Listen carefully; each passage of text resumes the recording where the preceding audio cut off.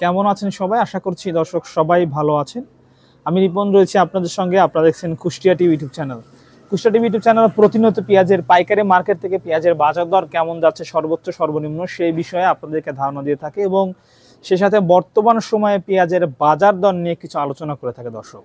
তার ধারাবাহিকতা আজকে চলে এসেছি পাবনার ঐতিহ্যবাহী পেঁয়াজ মার্কেট, পাবনার সাথিয়া পেঁয়াজ মার্কেট, যেটা প্রতিদিন মানে এই মার্কেটটা প্রতিদিন কিন্তু হয়ে থাকে এবং এখানে প্রায় ম্যাক্সিমাম ডেতে হচ্ছে দশ থেকে পনেরো গাড়ি পেঁয়াজের আমদানি হয়ে থাকে এবং এই পেঁয়াজটা দেশের বিভিন্ন জেলা যাচ্ছে। ঢাকা, নারায়ণগঞ্জ, টাঙ্গাইল সহ গাজীপুর, ময়মনসিংহ, জামালপুর, ফরিদপুর শেরপুর, এদিকে সিরাজগঞ্জ, বগুড়া এইসব জেলাগুলো কিন্তু দর্শক পেঁয়াজ যায় আমরা যতটুকু আজকে দেখেছি যে আজকে সর্বনিম্ন পেঁয়াজের বাজার পঁয়ত্রিশশো থেকে শুরু হয়ে সর্বোচ্চ কিন্তু আটত্রিশশো বাজার দর রয়েছে। এখানে আটত্রিশশো যে বাজার দরটা সেটা কিন্তু হাইটস বাজার এবং সেই পেঁয়াজগুলো কিন্তু চট্টগ্রাম সহ ঢাকার শ্যামবাজার কারণ বাজার কৃষি মার্কেট এবং বড় বড় যে মার্কেটগুলো আছে, সেখানে কিন্তু যাচ্ছে। দর্শক বন্ধুরা একটি বিষয় আপনাকে জানিয়ে রাখতে চাই যে পাবনা জেলাকে পেঁয়াজের রাজধানী বলা হয়, কারণ পাবনায় বাংলাদেশের চাহিদার চল্লিশ শতাংশ পেঁয়াজ উৎপাদন হয়ে থাকে। পাবনার সুজানগর উপজেলায় তিরিশ শতাংশ পেঁয়াজ উৎপাদন হয় এবং পাবনার সাথে উপজেলায় দশ শতাংশ পেঁয়াজ উৎপাদন হয়ে থাকে। এবছরও পেঁয়াজের উচ্চ ফলন হয়েছে বলে দাবি করেছেন সাথিয়া কৃষি অধিদপ্তর। দর্শক আজকের এই ভিডিওতে আমরা চেষ্টা করতেছি পেঁয়াজের বাজার দর সম্পর্কে কিছু তথ্য এবং সে সাথে আগাম জাতের হালি পেঁয়াজের আগমন নিয়ে কিছু কথা।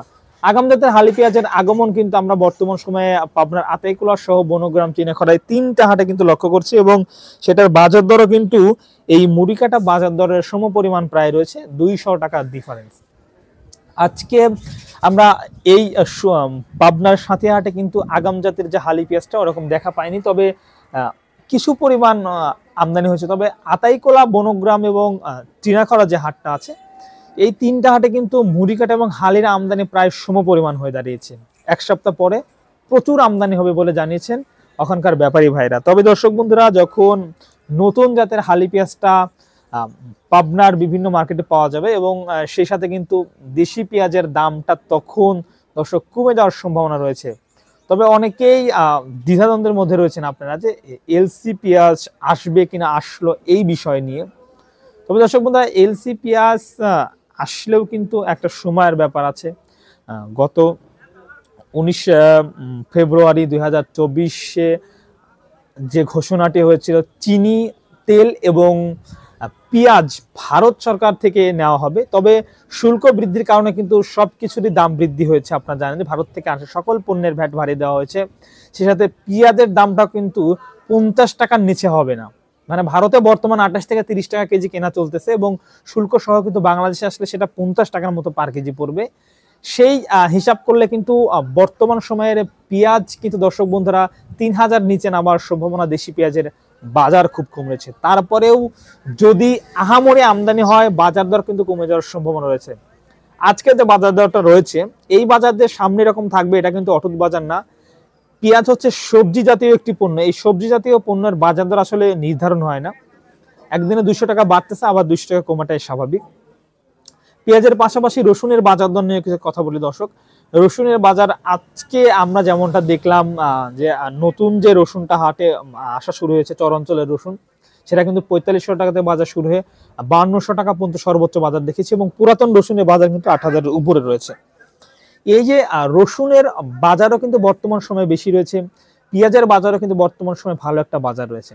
অনেকেই ভাবছিলেন যে রসুন সহ পেঁয়াজের বাজার দর বছরের শুরুতে মানে যখন এই সিজনের শুরুতে নাকি দাম কমার সম্ভাবনা রয়েছে। তবে দর্শক, আসলে দাম কমার সম্ভাবনা থাকলে কিন্তু এখনও কমেনি। আহামরি আমদানি হচ্ছে না। আমদানি হলে কিন্তু দামটা কমে যাওয়ার সম্ভাবনা রয়েছে বলে জানিয়েছেন এখানকার ব্যাপারী সহ কৃষকরা।